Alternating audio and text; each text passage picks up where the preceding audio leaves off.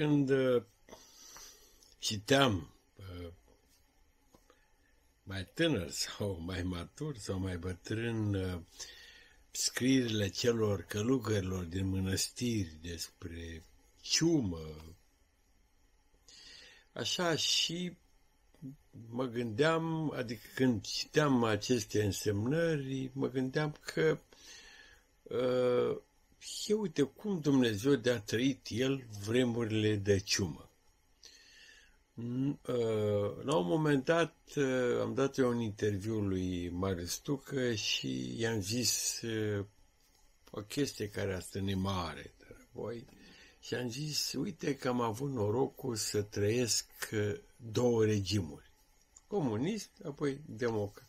No, trecerea, am zis, trecerea de la socialism la capitalism și am zis uh, sper să nu trăiesc, sau cam așa ceva, trecerea de la capitalism la socialism.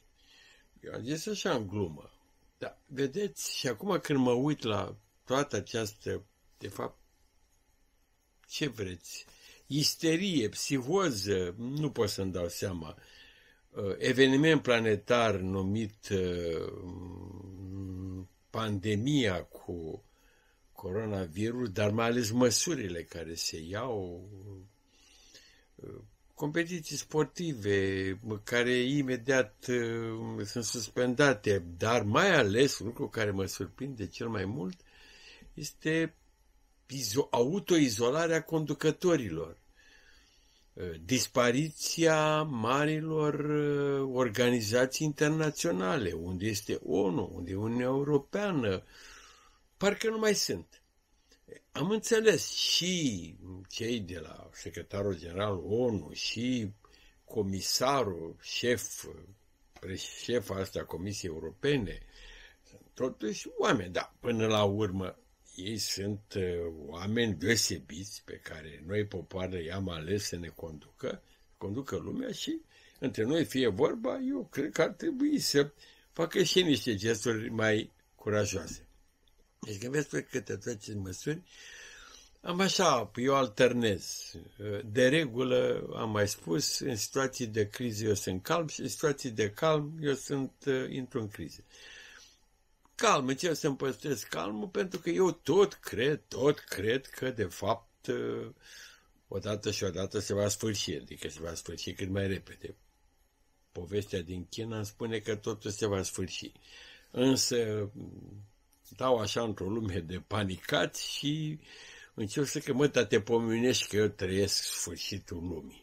Zic, da, am 72 de ani, merg pe 72, hm, am făcut ceva, mă gândesc la tine. Nu m-am gândit niciodată că, niciodată, apropo de ce spuneam lui tu, că nu m-am gândit niciodată că voi trăi un asemenea moment. Hai să fim serioși, adică un moment în care se închid granițele, în care conducătorii popoarelor dispar, nu știu, se autoizolează și mai ales momentul în care toți oamenii de pe planeta asta sunt uh, invitați, ba chiar obligați să stea în case. Trăsătura fundamentală a societății moderne este sociabilitatea.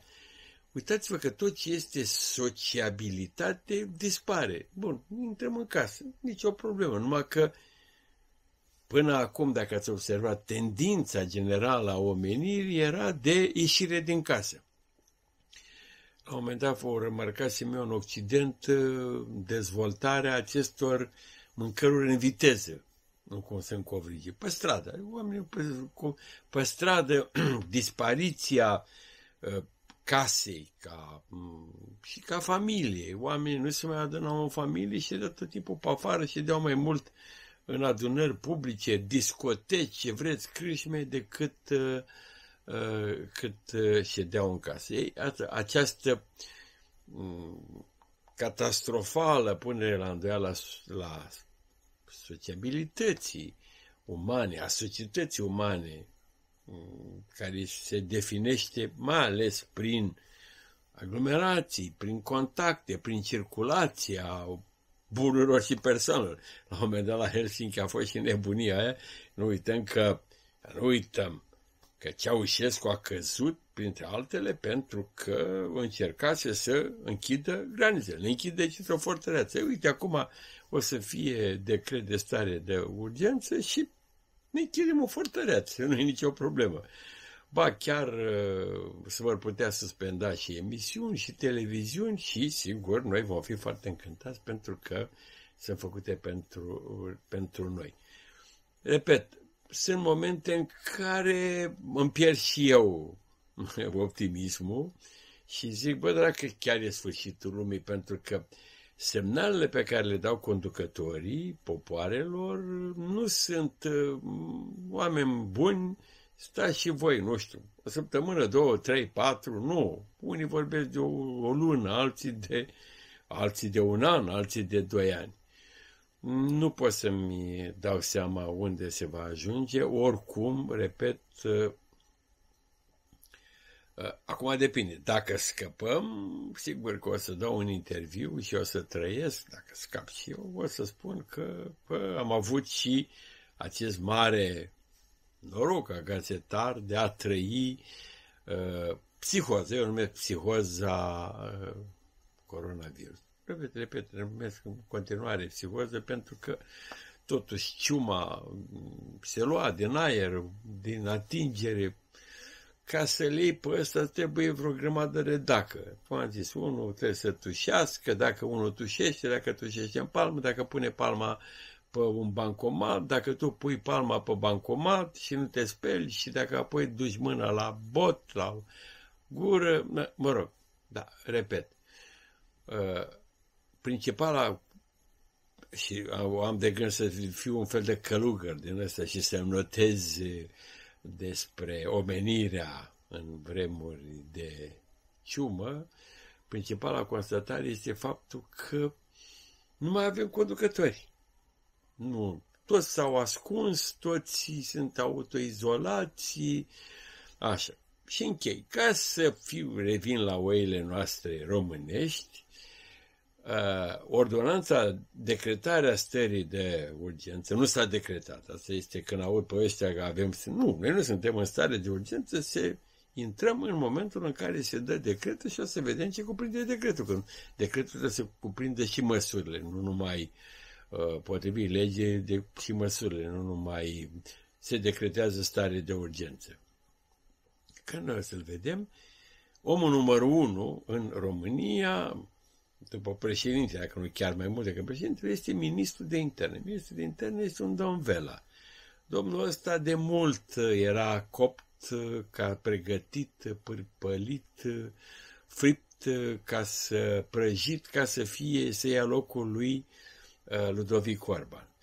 Uh, deci, în primul rând, Ludovic Orban este consemnat la domiciliu, deci e greu, nu mai poate să se manifeste. Domnul Vela nu e consemnat, el n-a, are încă coronavirus, cel puțin și-a făcut testele, nu cred că a făcut, și atunci vom vedea un nou prilej pentru domnul Ludovic Orban să se îmbolnăvească de ficat. A fost câțul care voia să ia locul, acum vom vedea pe Vela care devine vedetă. Și dacă ați observat pe fondul ăsta de sfârșit de lume, totuși politicienii sunt politicieni, adică l-au împins Paraed Arafat, ați văzut, hm, mai în, mai în plan secund și acum a făcut asta ieri, domnul Orban, o conferință de presă, n-am înțeles de ce, că n-a zis nimic, că nu se decretați stare de urgență, dar s-a gândit că după ce se decretează stare de urgență, domnul Vela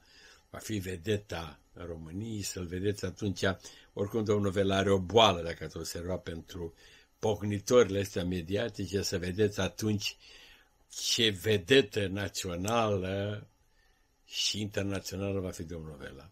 E târziu, 12 noaptea, am fost foarte ocupat cu uh, domnul Sârbu mi-a creat aici în casă un studio, mi-a adus lumini. El are, ca să fac, ca să fac o chestie cu Marius Tucă Show, pe care altfel ar fi făcut-o prin Skype. Aici Adrian Sărbă, care e perfecționist din ăsta, în fel de felini al televiziunii, a zis nu.